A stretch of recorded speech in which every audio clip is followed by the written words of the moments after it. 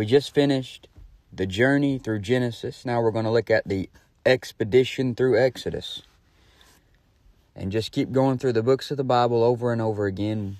We already finished Genesis through Revelation once. Now we're just starting back all over.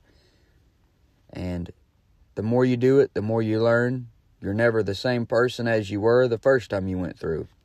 You need to be growing more and more each year, every time you go through the Bible, verse by verse, or book by book, or chapter by chapter. Usually, I do verse by verse, but now we're going to do book by book. Again, go through it again this way. And this helps keep our mind fresh on the entire thing because you know when you just do a topic or verse by verse, you get kind of bogged down in one spot and you can forget stuff that happened throughout the rest of the Bible. I'm all the time studying a certain part of the Bible, and then I won't go back to that for a long time except in my reading, and I'll forget all about everything that I learned. This way, you can keep your mind fresh on the entire Bible, or at least more fresh on it than you would if you just only do topics or verse by verse because you're going through the whole thing at a consistent rate. But this is the expedition through Exodus, and Exodus means to exit or a way out. And that's because in this book, God is going to get the children of Israel out of Egypt. And it's also called the Book of Redemption, or the second book of Moses.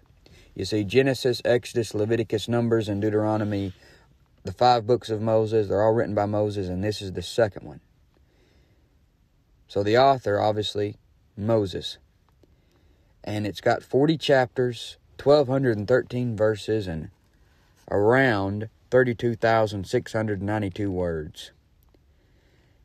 And in this book, Christ is pictured as our Passover, as it calls him in 1 Corinthians 5 7 and as you're going to see in Exodus chapter 12, you're going to see the Passover for the first time.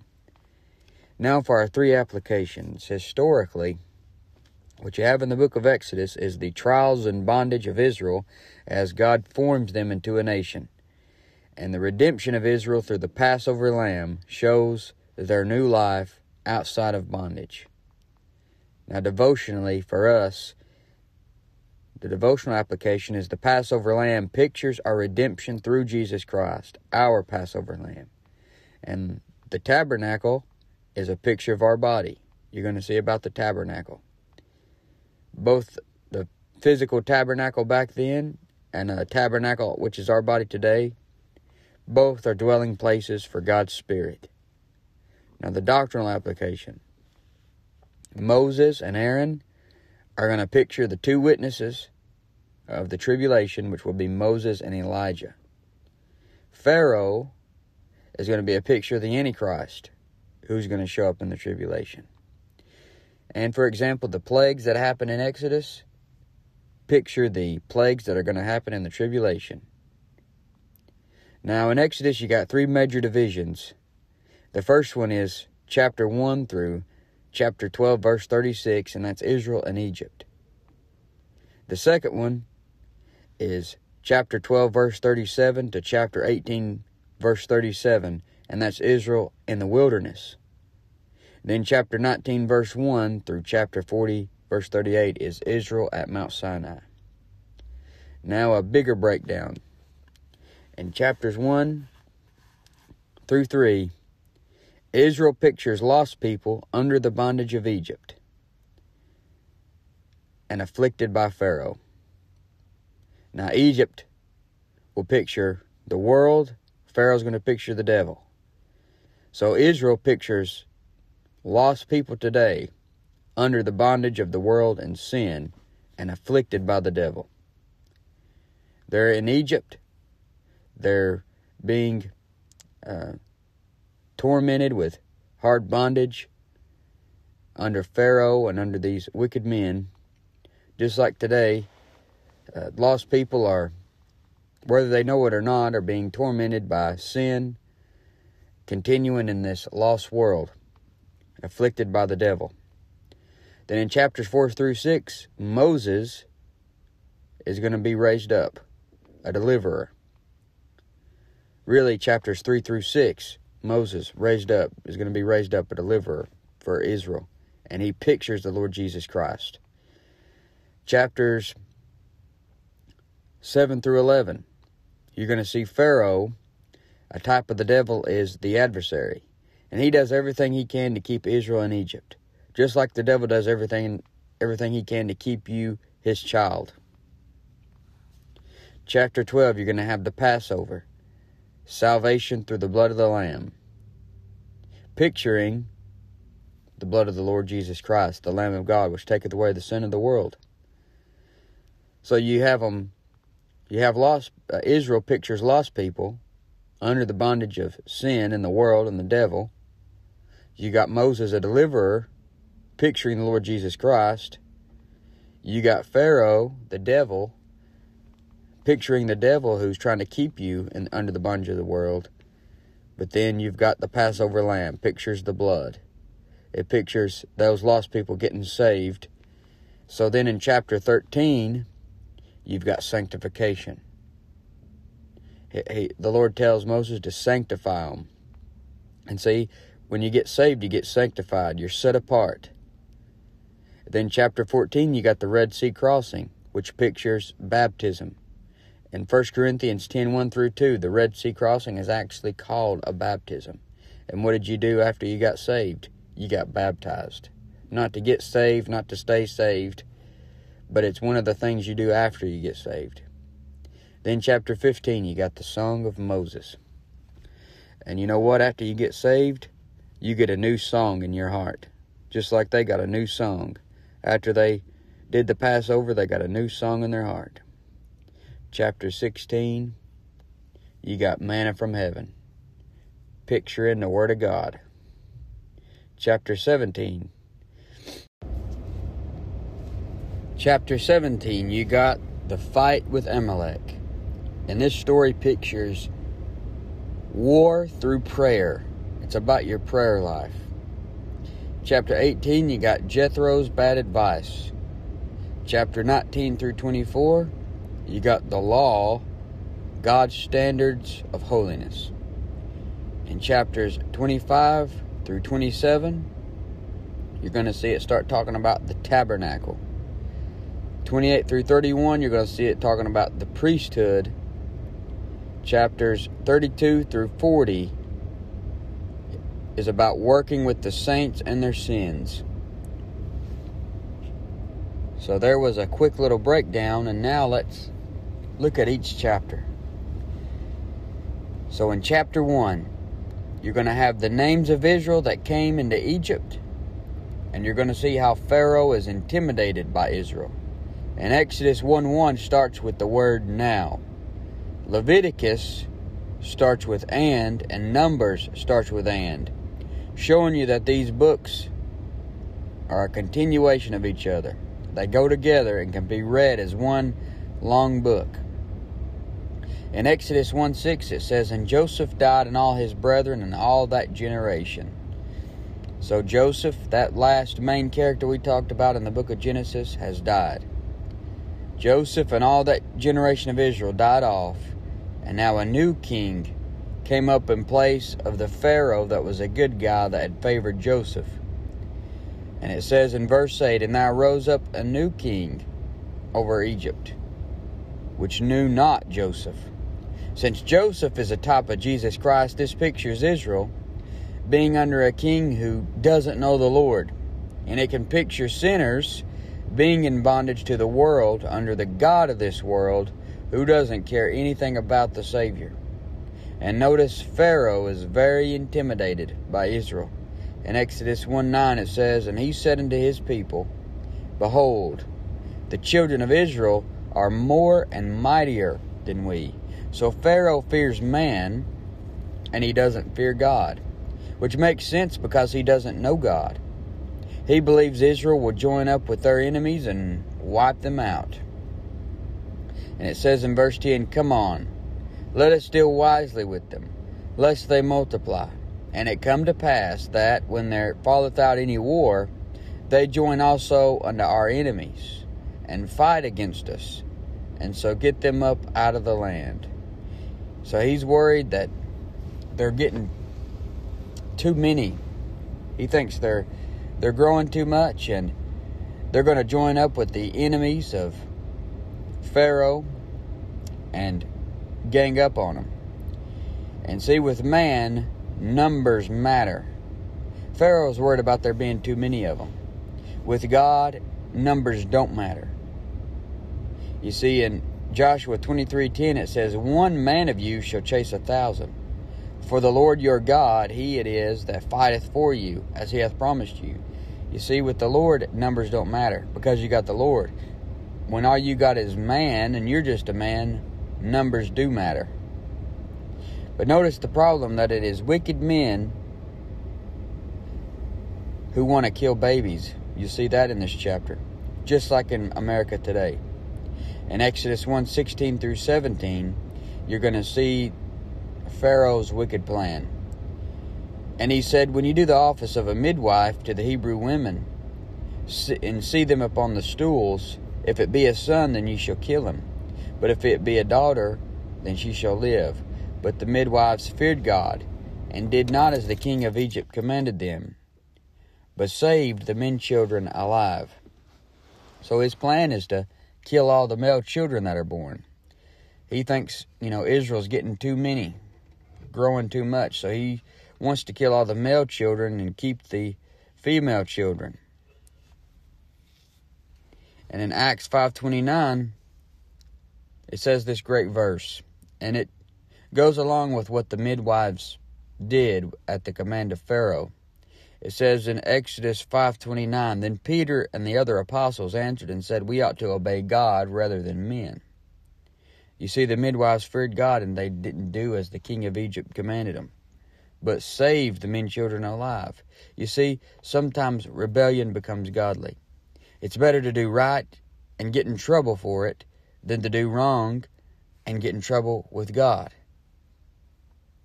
You see, Pharaoh can't get the midwives to kill the children, so he charges all the people to kill every son. It says in Exodus 122, And Pharaoh charged all his people, saying, Every son that is born ye shall cast into the river, and every daughter ye shall save alive. How can Pharaoh do something like this? It's because he doesn't know the Lord. So he's doing what's right in his own eyes. He has no conscience about treating people wrong because only he only has to answer to himself since he doesn't know the Lord. And the more wicked you live, the easier it will be to do more wicked things. The harder your heart will become. And men do crazy things when they get afraid. And what have we seen in this chapter? He is afraid. Now look at chapter 2.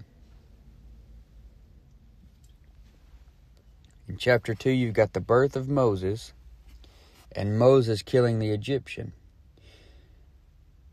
So Moses is hid in an ark of bulrushes by the river's brink, and his mother wanted to make sure that Pharaoh's henchmen aren't going to come kill him. Because you know, he's a male child, a male baby that's born. And Pharaoh's commanded everybody to kill all the male children that's born. But something amazing happens. Pharaoh's daughter ends up finding Moses. And Moses' sister's there. And she suggests that she get one of the Hebrew women to nurse the baby for Pharaoh's daughter. And of course, she's going to go get Moses' mother. All without Pharaoh and his daughter knowing that it's his mother. And Moses' mother then gets paid wages just to nurse her own child. And Moses grows up, ends up killing an Egyptian and hiding him in the sand because he was messing with one of uh, his Hebrew brethren. And Pharaoh finds out about it and wants to slay Moses. So once again, Moses has a hit out, hit out on him from Pharaoh.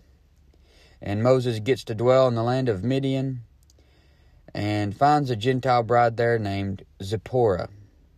And Moses is a great picture of the Lord Jesus Christ. You see, Moses takes a Gentile bride. This pictures the Lord Jesus, who also takes a Gentile bride, which is us. And the Lord hears the groaning of Israel in Egypt. The children of Israel down there crying to God because they're they're having to serve with rigor and hard bondage. The Lord hears the groaning of Israel, and His heart is turned towards Israel. So what, what's He going to do? He's going to raise up Moses, the deliverer. In chapter three, He starts talking to Moses. So in chapter three, you have Moses in the burning bush says in Exodus 3 1 Now Moses kept the flock of Jethro, his father in law, the priest of Midian. And he led the flock to the backside of the desert, and came to the mountain of God, even to Horeb. So notice that Moses is a worker. He's responsible. He kept the flock. And right here, he is a shepherd over sheep, but soon he's going to be a shepherd over people. And you can already learn a characteristic of Moses to take with you, and that is be responsible. Most people today can't be left in charge of anything, let alone living people or animals. They won't even run a drive through. And Moses is on the backside of the desert, and you might be on the backside of the desert right now in your life, and God's dealing with you about using you. And Moses isn't some, you know, some big great person. He's a sinner, just like me and you. You're going to see he's got problems, he's got fears, and has all kinds of stuff going on.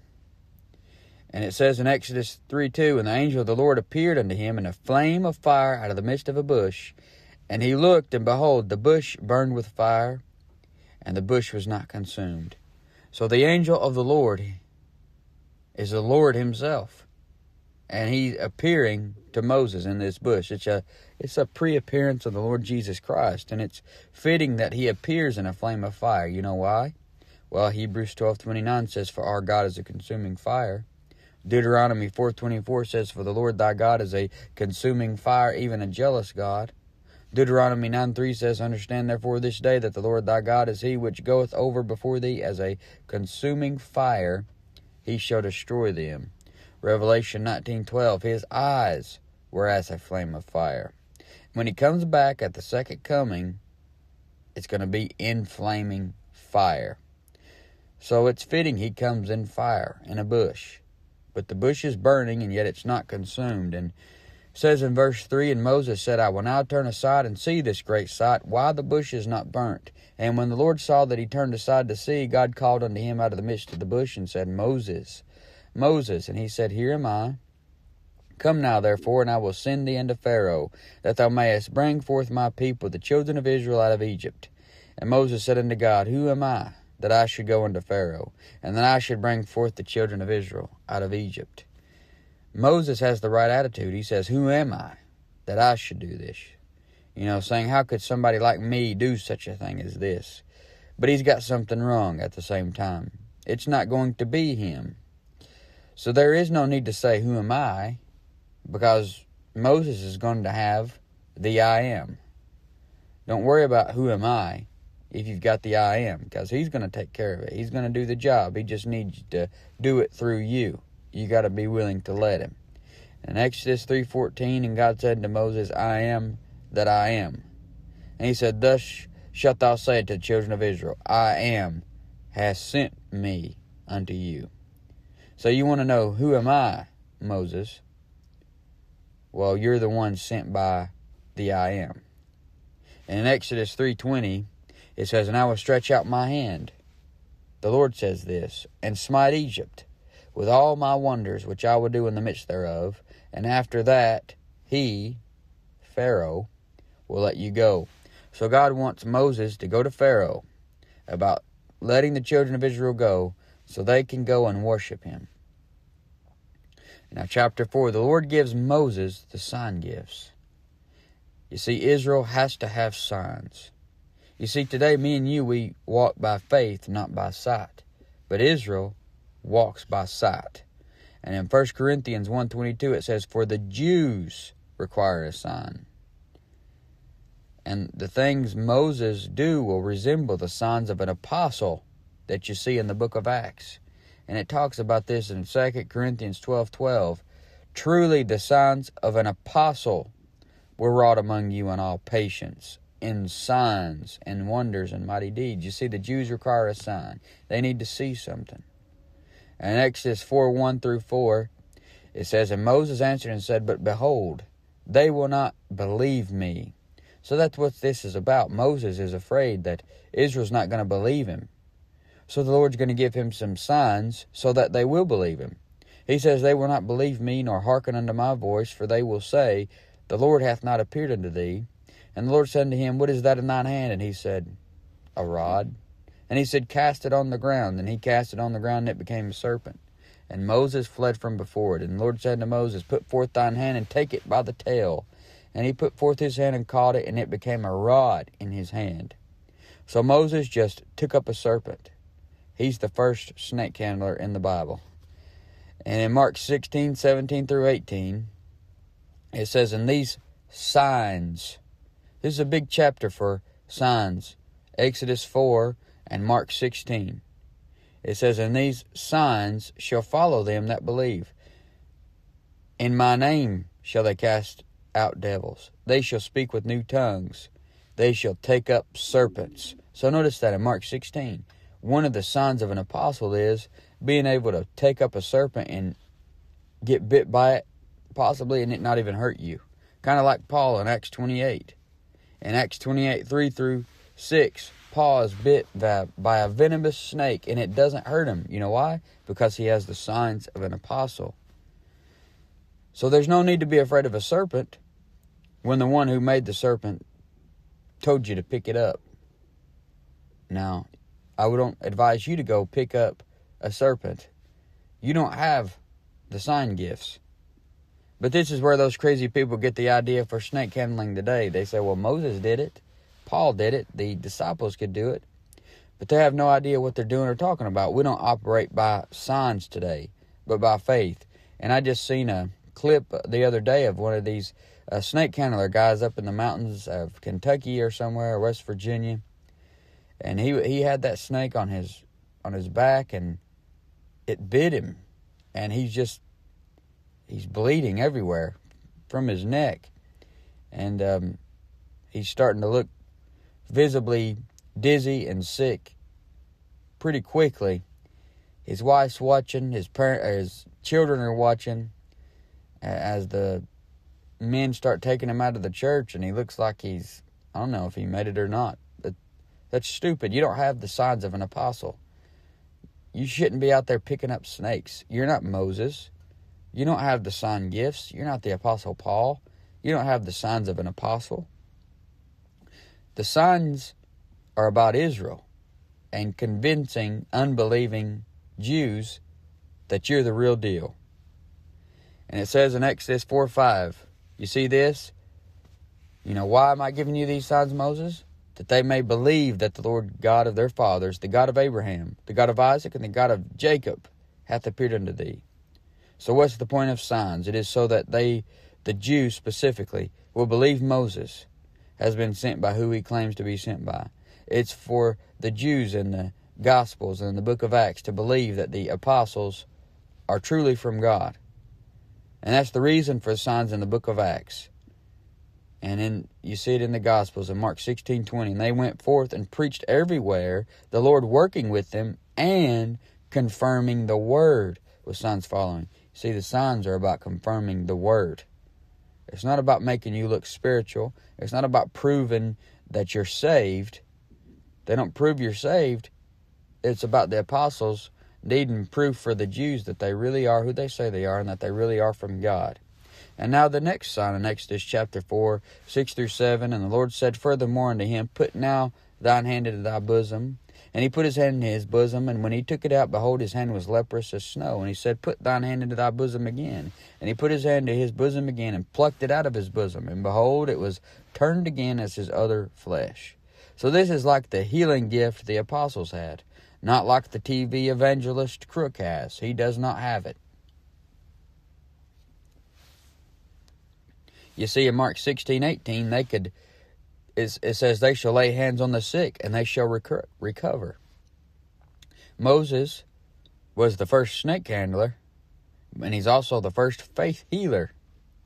You know, they got the healing lines where these phonies will have you get in a line and if you got something wrong with you and they supposedly heal you. Now, maybe the devil does, the Lord allows the devil to heal some people every now and then, but for the most part, these people are phonies and they're out for your money. And in Exodus 4 8 through 9, it says, And it shall come to pass, if they will not believe thee, neither hearken to the voice of the first sign, that they will believe the voice of the latter. And it shall come to pass, if they will not believe also these two signs, neither hearken unto thy voice, and thou shalt take of the water of the river, and pour it on upon the dry land. And the water which thou takest of the river shall become blood upon the dry land. See, wine in the Bible is a picture of blood turning the water to blood pictures Jesus Christ turning the water to wine. And with all this backing up Moses, all these signs that the Lord's promising him, he's still afraid. You see, Moses is just like me and you. In Exodus 4:10 and 11, it says, And Moses said unto the Lord, O my Lord, I'm not eloquent, neither heretofore, nor since thou hast spoken unto thy servant. But I am slow of speech and of a slow tongue. And the Lord said unto him, Who hath made man's mouth, or who maketh the dumb, or deaf, or the seeing, or the blind? Have not I the Lord? You see, the Lord made your mouth just as he made everyone else's mouth. And he says, Now therefore go, and I will be with thy mouth, and teach thee what thou shalt say. And he said, O my Lord, send, I pray thee, by the hand of him whom thou wilt send. So Moses is trying to back out, and the Lord gets angry and tells him that his brother Aaron can be the spokesman for him, and that he can tell Aaron what to say.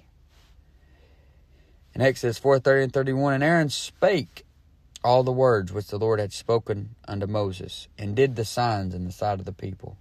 And the people believed, and when they heard that the Lord had visited the children of Israel, and that he had looked upon their affliction, then they bowed their heads and worshipped. So Aaron is going to help Mo- help Moses. He's going to be the spokesman. But you're going to see that Moses is going to be the one that ends up doing all the talking. Moses will finally get confidence in the Lord that he needs. But Moses does all the Moses and Aaron meet up first and Moses shows him what the Lord just showed him with the rod. And Aaron's going to do the same thing in the sight of the people. And the people believe. You know why? Because the Jews require a sign. They respond to signs. Now, chapter 5. In chapter 5, Pharaoh won't let Israel go, and Moses is discouraged. So Moses and Aaron go to Pharaoh and let him know the Lord wants him to let Israel go, and he basically acts like they're a joke. Exodus 5 2, and Pharaoh said, Who is the Lord that I should obey his voice to let Israel go? I know not the Lord, neither will I let Israel go. And this is the attitude of the average person you talk to every day. They don't know the Lord, they don't obey his voice, and they say, Why should I obey the words of God? In Exodus 5 3, and they said, The God of the Hebrews hath met with us. Let us go. We pray thee, three days' journey into the desert, and sacrifice unto the Lord our God, lest he fall upon us with pestilence or with the sword. You see, Moses left out the part about how God said that Pharaoh's firstborn would be killed if he didn't let the people go. You see, never trim your message. Notice they say, notice what nothing they say will convince Pharaoh. He believes the children of Israel just don't have enough work to do. He thinks they need work added so that they won't even have enough time to think about such things as going to worship God in the wilderness. He thinks that's crazy. He thinks it's a waste of time. He said, Ye are idle. You're idle. Therefore you say, Let us go and do sacrifice to the Lord. Go therefore now and work, for there shall no straw be given you, yet shall you deliver the tale of bricks. So he tells them you're just idle, and he lays more work on them. You see, the devil would love to keep you so busy that you don't have any time for God. You see, the workplace will keep you busy, so busy that you don't have any time to do anything for God. So you have to cheat the system, you see. You see, I study while I'm working. I listen to preaching while I'm working. I read the Bible on break and witness at work. You see, it's not just a Sunday morning thing. It's an everyday thing.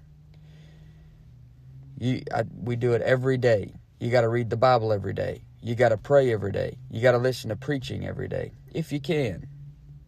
You need to if you can. I mean, obviously, not everybody has that luxury. But multitasking is key if you can do it. Exodus 5:22 And Moses returned unto the Lord and said, Lord, wherefore hast thou so evil entreated this people? Why is it that thou hast sent me? Don't expect things to go your way right away. You see, God's not in a rush, but just believe